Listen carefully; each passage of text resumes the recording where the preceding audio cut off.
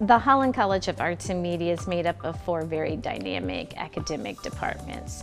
We have the Department of Art and Design, the Department of Mass Media, the Department of Music, and the Janine Larson Dobbins Conservatory of Theater and Dance. And we are the only campus in the state of Missouri that is dedicated to the arts.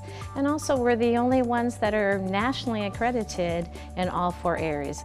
Opportunities outside of the classroom include the New York Showcase and the LA Showcase to go and meet casting directors and agents. The Fault Line Film Festival where our students can make films and they can actually compete against people from all over the country who are also in college, both undergraduate and graduate.